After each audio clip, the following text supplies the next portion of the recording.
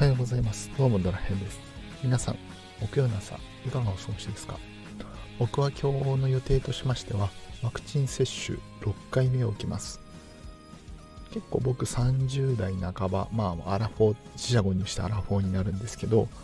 なんでこんな若いのにワクチン6回目受けるんだっていうと、医療従事者ではありません。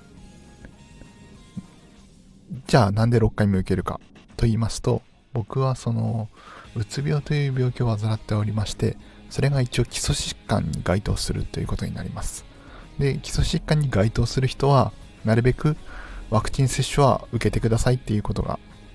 まあ、進められておりまして、僕はそれで6回目を受けることになっております。多分、打てるかな、一般の人で医療従事者を除いて、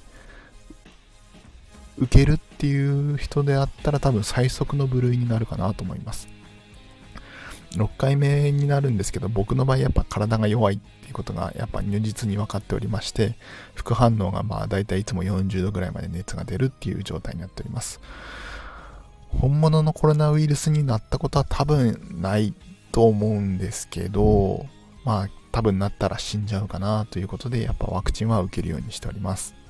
なんかね、いろんな反ワクチンだとかいろんな人がいると思うんですけど、命の、命を守るための行動ということでね、まあそんなに、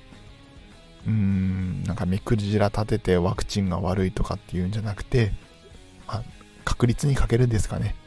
まあ、今回の場合で言いますと、ワクチンを打った方が生きる確率が高くなるってことで、僕はそれを選択してやっております。皆さんもね、なんかいろんな考えはあると思うんですけど、自分の命を守るためにできることをできる範囲でやっていきましょう。ごきげんよう。さようなら。